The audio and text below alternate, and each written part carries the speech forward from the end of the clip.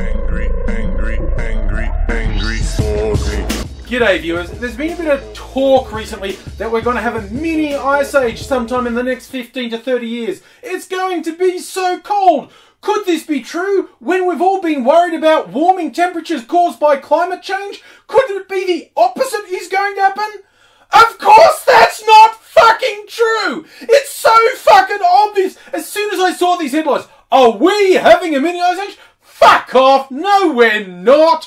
For it's just like, oh wow, that's just such a great coincidence that as the fucking climate change deniers are losing every other battle, someone plucks out of a hat, there's gonna be a mini ice age. Look, the science is down here that explains in some detail why this isn't true.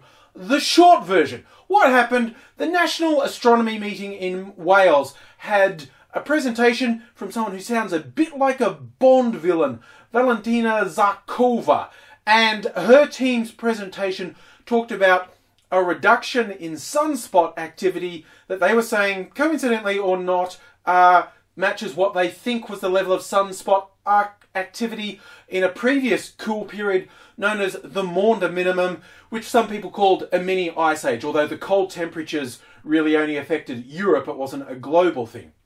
So, some news outlets took this and ran with it and went, Mini Ice Age! So, a few pertinent points. And I really think the biggest one is the people who did the paper themselves never fucking said mini ice age. They raised that this could affect Earth's climate. The actual modelling shows that this level of sunspot activity would be lucky to have a 0.1% difference in the sun's output to Earth, which is going to be dwarfed by all the stuff that has been accurately, most definitely measured that's causing temperatures to rise. It's as simple as that. So it's like one non-peer reviewed study based on somewhere in the region of 30 years worth of statistics does not trump all the peer reviewed scientists that 97% of climate scientists agree with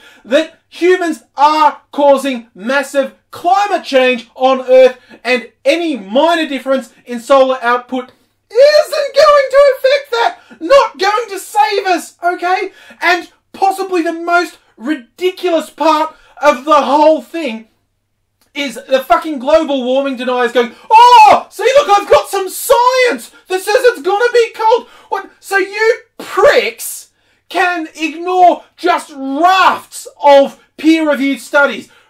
Just study after study after study that confirms that climate change is real and serious. And now you're getting all the creepy, scary stuff saying probably irreversible. That's depressing. But one thing that says, ah, maybe something completely implausible is going to happen, and you go, science! I hold it up. This is the mentality of someone who has a doctor who tells them they have cancer. So they go to specialists, and nine oncologists in a row tell them, yeah, you have cancer. But then a dentist tells them, no, you don't. And they go, the dentist has medical training. They know what they're talking about. I'll listen to them. So, no, we're not going to have a mini ice age. It should have been obvious straight up that this was complete bullshit. But yeah, if you want to read more, read below. But in short, when someone